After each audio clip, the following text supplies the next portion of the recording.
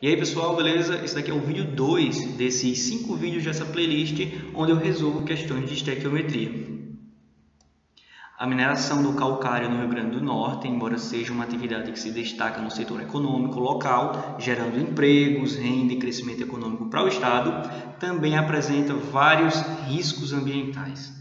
A cal, o óxido de cálcio, que é obtido pela decomposição térmica do calcário, fundamentalmente carbonato de cálcio, mesmo apresentando numerosas aplicações na indústria, na agricultura, dentre outros, emite dióxido de carbono para a atmosfera, conforme se observa na equação a seguir, que representa a decomposição do carbonato de cálcio. Com a decomposição de 400 kg de calcário, se emite para a atmosfera, aí você tem as alternativas falando em massas de CO2 que vão ser emitidas aí, certo? Então, beleza, eu tenho esses dados aqui para massa molar, certo?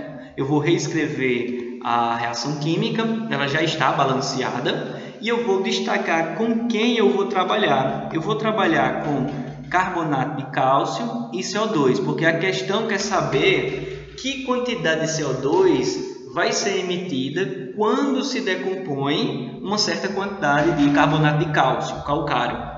Vou estabelecer as proporções molares e pense bem, a questão está falando em massa, respo as respostas vão sair todas, estão todas em massa, então é legal converter esse 1 mol para massa, para tudo ficar falando a mesma língua. Então, como é que eu vou converter isso? Como é que eu chego a esses 100 gramas e 44 gramas? Eu tenho a massa molar aqui para essas duas substâncias e eu leio que 100 gramas está para 1 mol. Então, 1 mol vale 100 gramas.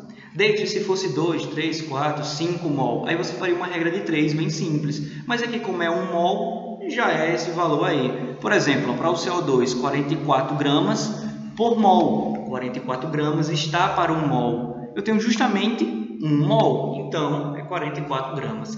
Aí aqui entra a pergunta.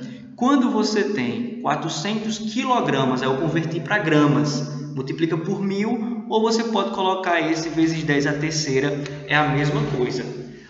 Quando você decompõe 400 kg de calcário, qual a massa de CO2 que você libera? Então, quando você fizer essas continhas aí, você vai chegar ao resultado de 176 vezes 10 a terceira gramas, que é a mesma coisa que 176 quilogramas. A resposta é a letra D. Só lendo que a gente fez, né, significa o que esse nosso trabalho? A gente determinou o que? Quando você decompõe 400 quilogramas dessa substância aqui, do calcário, carbonato de cálcio, você emite para a atmosfera 176 kg de CO2. Então, espero que essa resolução tenha ajudado você. Aqui é uma playlist de cinco questões sendo resolvidas desse assunto e tem outras playlists que eu vou montar que já devem estar concluídas aí no meu canal. Então, valeu!